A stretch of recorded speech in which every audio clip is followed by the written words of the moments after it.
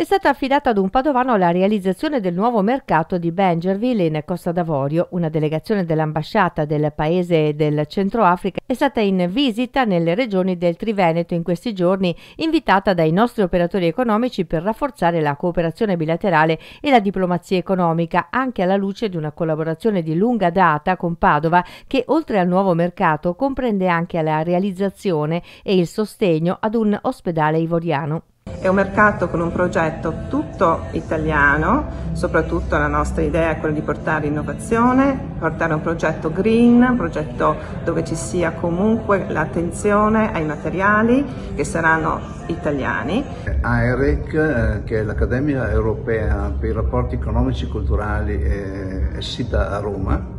ha costruito 15 anni fa questo ospedale in eh, Costa d'Avorio a Songon, che è un paese molto vicino alla capitale Abidjan. Gli imprenditori che stanno nel, nel Trivento, ma specialmente Padova in questo momento, perché abbiamo due aziende che eh, sono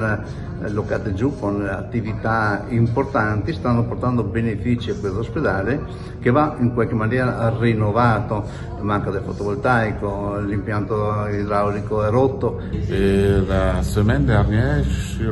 scorsa settimana sono rientrato da una missione di due settimane in Costa d'Avorio dove ho incontrato una delegazione italiana di 30 persone con le camere consolari, SACE, Confindustria e diverse aziende che sono aziende che già operano in Costa d'Avorio nell'ambito del rafforzamento bilaterale. La mia visita a Padova è proprio per portare il sostegno dell'ambasciata, in particolare a due società che già hanno avviato investimenti in Costa d'Avorio.